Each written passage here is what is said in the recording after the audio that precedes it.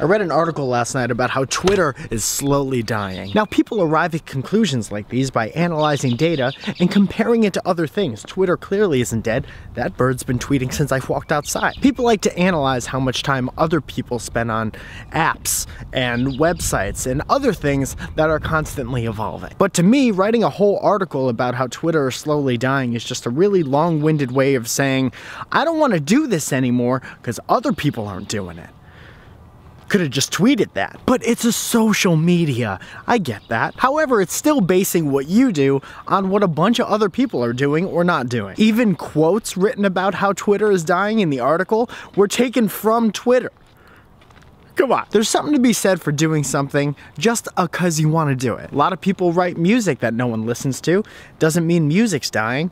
I did it for years. I think Twitter will exist in some form or another as long as people keep having ideas and an extra second to jot them down and the desire to share them with a bunch of other people. Also, I could be wrong about all this and still care just as much. I guess my point is people spend way too much time always looking at numbers. Numbers go up and down. That's what numbers do. That's the nature of numbers. The problem is that as soon as they start to dip, a bunch of other people want to jump on and be the first to say that that thing is dying. Imagine if doctors had that much pride. Oh, he doesn't look too good uh, dying.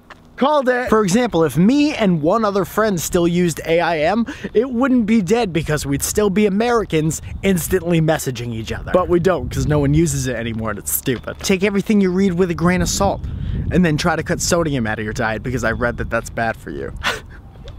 I'm gonna tweet that.